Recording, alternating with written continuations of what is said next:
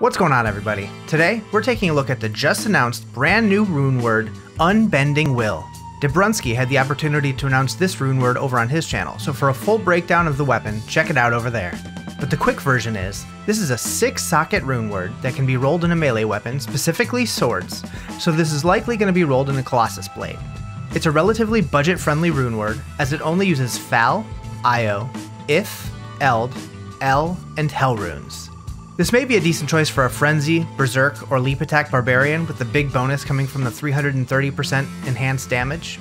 Another attribute that's particularly interesting is the 18% chance to cast a level 18 taunt on striking. This means that monsters are going to be much more likely to attack you, which would be particularly useful to round up monsters. With the upcoming 2.4 changes to mercenaries, I also think this would be especially strong on an Act 5 Barbarian mercenary. You could slap Unbending Will into an Ethereal Colossus Blade and drop it on your Mercenary, and use this to keep monsters focused on your Mercenary instead of yourself. Anyways, that's it for me for today. Thank you so much for watching.